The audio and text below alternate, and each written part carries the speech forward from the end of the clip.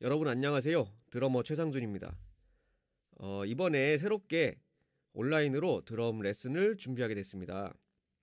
어, 그동안의 경험과 노하우를 바탕으로 어, 짧지만 꼭 필요한 내용들을 포함해서 레슨을 진행하려고 합니다. 그러니까 여러분들도 어, 부담 가지지 마시고 하루에 조금씩이라도 꾸준하게 연습하셔서 즐겁게 드럼 배워 나가셨으면 좋겠습니다. 그래서 오늘 첫 시간으로 어, 드럼의 각 부분별 명칭과 그 각 부분들이 악보에서 어떻게 표시되는지 그걸 한번 알아보는 시간을 가지겠습니다. 어, 악보를 같이 보시면은 쭉 음표들이 있죠. 그 중에 1번부터 한번 같이 알아볼게요.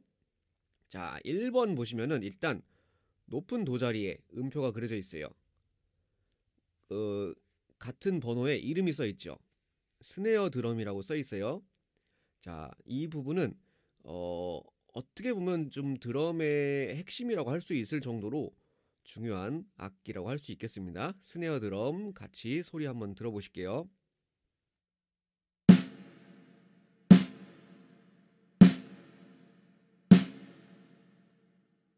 아, 그 다음 2번을 보시면 높은 미 자리에 음표가 그려져 있어요. 뭐라고 써 있죠?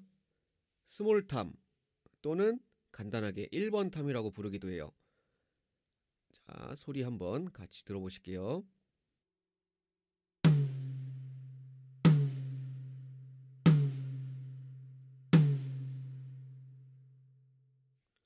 자, 그 다음 그 옆에 높은 레 자리에 음표가 또 그려져 있어요. 이거는 뭐라고 써 있습니까? 라지탐 또는 2번 탐이라고 써 있어요. 이 부분도 소리 한번 같이 들어보실게요.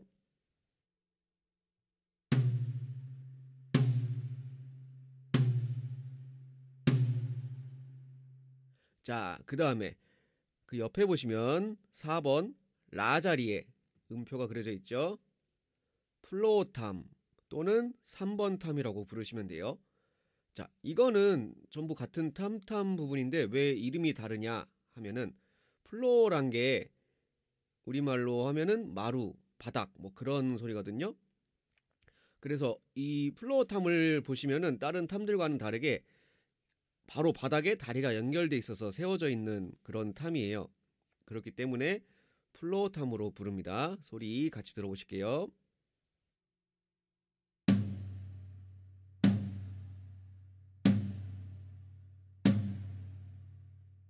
그 다음에 옆에 있는 5번 파 자리에 그려져 있죠. 그리고 이거는 특이하게 음표가 뒤집혀져 있어요. 거꾸로 그려져 있죠.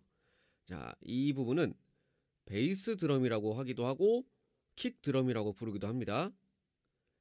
이 부분은 발로 연주하는 부분이에요. 그래서 이름도 킥 드럼이라고 쓰기도 합니다. 소리 한번 들어보실게요.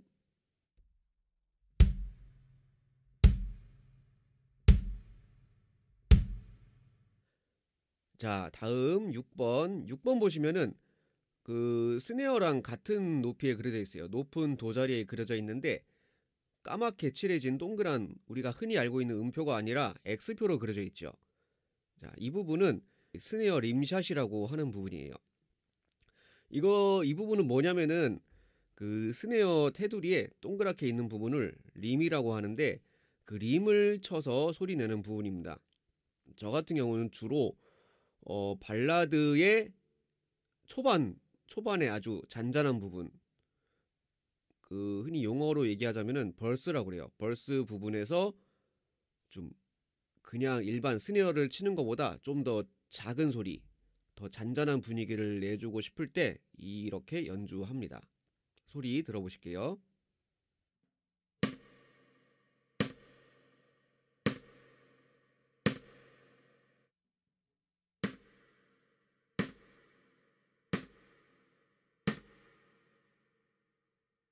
자, 그 다음에 오른쪽 보시면은 7번. 7번은 높은 솔 자리에 X표로 그려져 있어요.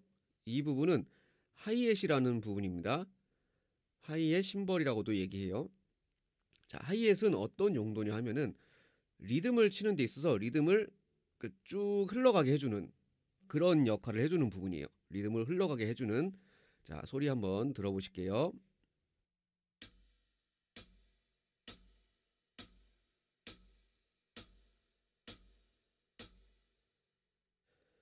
그 다음에 오른쪽을 보시면 8번 음표가 있습니다.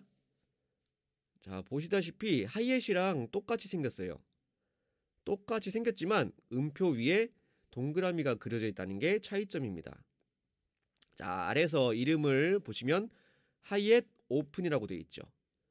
하이햇 오픈 또는 오픈 하이햇이라고 부르는데 어, 이 부분은 하이햇 페달을 발로 열어준 다음에 손으로 하이햇을 연주해주는 부분입니다. 어, 기본적으로 하이햇이랑 같은 역할을 하는 부분이지만 그냥 하이햇을 닫고 연주할 때보다 좀 더 강한 느낌의 리듬을 연주해 줄 수가 있어요. 그래서 직접 한번 소리 들어보시겠습니다.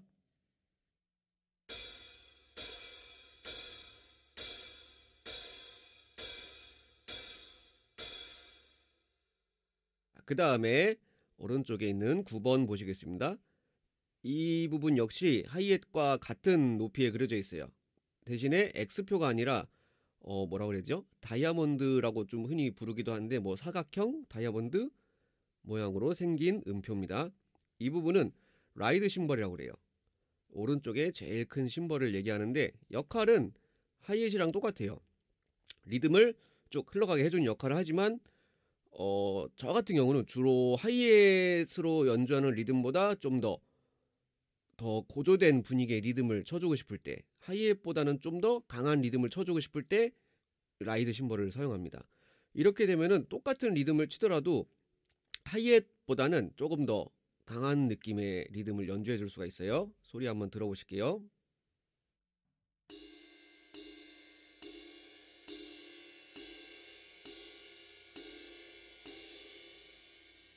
그 다음에 10번 한번 같이 보실게요. 10번은 높은 C 자리에 위치해 있어요. X표로 그려져 있고 어 뭔가 차이점이 좀 있는데 위쪽에 이상한 표시가 하나 있죠. 이 표시는 액센트 표시인데 포인트 되는 부분 좀 강조하고 싶은 부분에서 많이 사용해 주는 표시입니다. 어 이것의 이름은 크래쉬 심벌이라고 하는데 왜 크래쉬 심벌이냐? 크래쉬가 우리말로 하면은 뭔가 깨지다 뭐 그런 뜻이 있어요. 그래서 이 심벌을 치게 되면은 뭐 되게 시끄러운 뭔가 막 깨지는 듯한 그런 소리가 나거든요. 이 크래쉬 심벌은 주로 곡의 시작이나 끝 또는 중간중간에 아주 강조해주고 싶은 부분에서 사용하게 됩니다. 소리 한번 들어보실게요.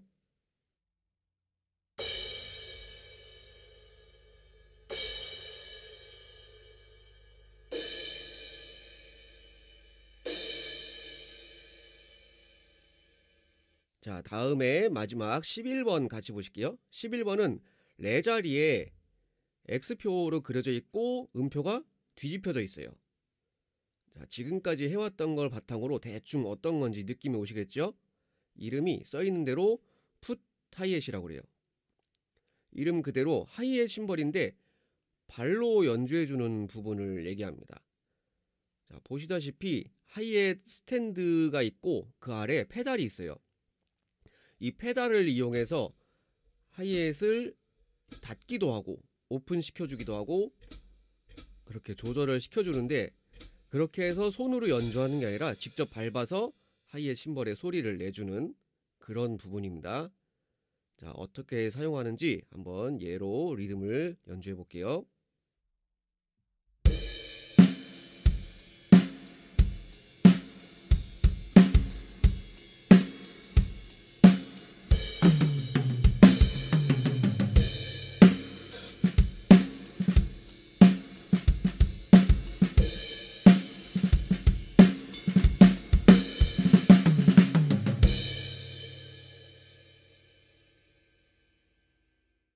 자, 이렇게 첫 시간 수업을 진행해 봤는데 어떠십니까? 어렵지 않으시죠? 어, 앞으로 계속 레슨을 진행해 나가면서 어, 드럼 각 부분의 명칭들은 이렇게 말로도 계속 얘기해 보고 또 직접 사용도 해 보시면 금방 나도 모르게 외워지실 거니까 너무 걱정하지 마시고 즐겁게 연습 진행해 나가셨으면 좋겠습니다. 어, 오늘은 여기까지 하고 저는 다음 영상에서 찾아뵙도록 하겠습니다. 감사합니다.